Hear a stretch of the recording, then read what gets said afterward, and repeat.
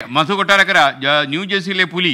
എന്തൊക്കെയാണ് latest updates America ഈ കാര്യത്തിലുള്ള അന്താരാഷ്ട്ര രാഷ്ട്രീയം എന്താണ്? ഇതിൽ ഇതിൽ യഥാർത്ഥത്തിൽ പുലിവാലി പിടിച്ചിരിക്കുന്ന ആരാണ്? മാത്രമല്ല അവിടെ കാനഡയിൽ താമസിക്കുന്ന ഇന്ത്യൻ വംശജർക്കും പ്രത്യേകിച്ച് മലയാളികൾക്കുമൊക്കെ വലിയ ടെൻഷനുണ്ട് ഇക്കാര്യത്തിൽ അവരോട് എന്തായിരിക്കും നമ്മൾ മധു പറയുക?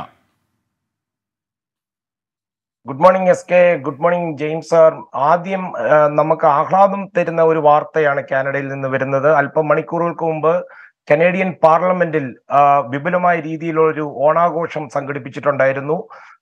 ഒരുപാട് മലയാളികൾ പങ്കെടുത്ത ഒരു ചടങ്ങായിരുന്നു ഈ പാർലമെന്റിനുള്ളിൽ നടന്നത്. ഇനി ആശങ്ക തരുന്ന വാർത്തകൾ കാരണം ഈ നിരോധിത സംഘടനയായ സിഖ് ഫോർ ജസ്റ്റിസിന്റെ പ്രസിഡന്റും ഖാലിസ്ഥാൻ തീവ്രവാദിയുമായ ഗുൾപൻവാൻ സിംഗ് പാനൂൻ ഹിന്ദുക്കൾ കാനഡ വിടണമെന്നും ഇന്ത്യയിലേക്ക് മടങ്ങണമെന്നുള്ള ആഹ്വാനം ഇന്നലെ ഏറെ വിവാദം സൃഷ്ടിച്ചിരുന്നു. ഇതിനെ തുടർന്നാണ് ഇന്ത്യ കാനഡ ബന്ധം വലിയ തോതിൽ വഷളായ ഒരു സാഹചര്യത്തിൽ ഇന്ത്യ ഗവൺമെന്റിന്റെ ജാഗ്രതാ നിർദ്ദേശം കാനഡയിലെ ഇന്ത്യൻ വംശജർക്ക് പ്രത്യേകിച്ച് വിദ്യാർത്ഥികൾക്കുമൊക്കെ നൽകിയത്.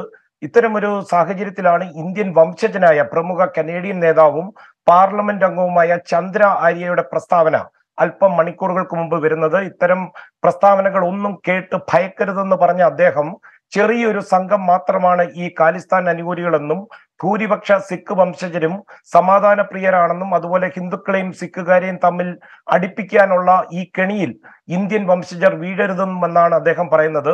ഈ പ്രസ്താവന കേട്ട് ഭയത്തോടെ വിളിച്ച പലരും ഉണ്ട്. അവരോടൊക്കെ പറയാനുള്ളത് സമാധാനമായിട്ട് ഇരിക്കുക പക്ഷേ ജാഗ്രതയോടെ ആയിരിക്കണം. എന്തെങ്കിലും അനിഷ്ട സംഭവങ്ങൾ ശ്രദ്ധയിൽപ്പെട്ടാൽ ഉടൻ പോലീസിനെ അറിയിക്കുക. കുടുംബ ബന്ധങ്ങളിലൂടെ അതുപോലെ സമൂഹമായിട്ടുമൊക്കെ വളരെ ശക്തമായ ബന്ധമാണ് ദശാബ്ദങ്ങളായി ഹിന്ദു സിഖ് കമ്മ്യൂണിറ്റി കാനഡയിലുള്ളത്. പല കനേഡിയൻ സിഖ് വംശജരും പരസ്യ പ്രതികരണത്തിനൊന്നും വരുന്നില്ലെന്നേ ഉള്ളൂ. പക്ഷേ അവരെല്ലാം ഈ കാലിസ്ഥാൻ വാദത്തിന് എതിരാണ്. തന്നെയുമല്ല എസ് കെ ഇവിടെ ശ്രദ്ധിക്കേണ്ടത് ഇന്ദിരാഗാന്ധിയുടെ രക്തത്തിൽ കുളിച്ച ഒരു ഫ്ലോട്ട് പരേഡ് നടത്തി കാലിസ്ഥാൻ വാദികൾ ആഘോഷിച്ചപ്പോൾ പരസ്യമായി രംഗത്ത് വന്ന ഒരു നേതാവാണ് ഇദ്ദേഹം. ഇദ്ദേഹം അന്ന് പറഞ്ഞത് പാമ്പ് പറമ്പിലുണ്ടെന്നാണ്. അന്ന് വലിയ രീതിയിൽ മാധ്യമങ്ങൾ അത് കൊടുക്കുകയും ചെയ്തു. എസ് കെ നേരത്തെ അമേരിക്കയെ പറ്റി ചോദിച്ചു ജോ ബൈഡൻ ഭരണകൂടം വളരെ ജാഗ്രതയോടെ ഇന്ത്യയെ ചൊടിപ്പിക്കാതെയാണ് ഈ വിഷയം കൈകാര്യം ചെയ്തുകൊണ്ടിരിക്കുന്നത്. എന്നാൽ വാഷിംഗ്ടണിൽ നിന്ന് ജോൺ ഓഫ് കിർബി സുരക്ഷാ ഉപദേഷ്ടാവ് പറഞ്ഞത് ഇതൊരു ഗുരുതരമായ ഒരു വിഷയമാണ് അന്വേഷണവുമായിട്ട് സഹകരിക്കണമെന്നാണ്. എന്നാൽ കിർബി പറയുന്നുണ്ട് ഇന്ത്യയുമായിട്ടുള്ള ബന്ധം അങ്ങനെ വഷളാക്കാൻ അമേരിക്ക ഉദ്ദേശിക്കുന്നില്ലെന്നും. എന്നാൽ മറ്റൊരു കാര്യമുള്ളത് അമേരിക്കയുടെ ചരിത്രം തന്നെ രാജ്യത്തിനോ പൗരന്മാർക്കോ ഭീഷണിയാകുന്ന ഭീകരന്മാർ. അവർ ഇരിക്കുന്ന സ്ഥലത്ത് അത് വേറെ രാജ്യമായാലും പോയി തീർക്കുക എന്നുള്ളതാണ് ഒരു രീതി. ഇറാഖിൽ സദ്ദാം ഹുസൈനെയും പാകിസ്ഥാനിൽ ഒളിച്ചിരുന്ന ഒസാമ ബിൻ ലാദനെയും ഒക്കെ രാത്രിയുടെ മറവിൽ ഇരു ചെവി അറിയാതെ തീർത്തതും നമ്മൾ ഇതിനോട് ചേർത്ത് വായിക്കണം. അതുകൊണ്ട് ഒരു പരസ്യ നിലപാട് ഇത്തരം ഒരു വിഷയത്തിൽ അമേരിക്കയ്ക്ക് എടുക്കാൻ പറ്റുമോ എന്ന് സംശയം പുലർത്തുന്നവരുണ്ട്. നേരത്തെ ജെയിംസ് സാർ സൂചിപ്പിച്ചതുപോലെ മുന്നൂറ്റി ഇരുപത്തിയൊമ്പത് പേർ കൊല്ലപ്പെട്ട കനിഷ്ക ദുരന്തത്തിന് വിത്തുപാകാൻ കാലിസ്ഥാൻ തെരഞ്ഞെടുത്തത് കാനഡയാണ്.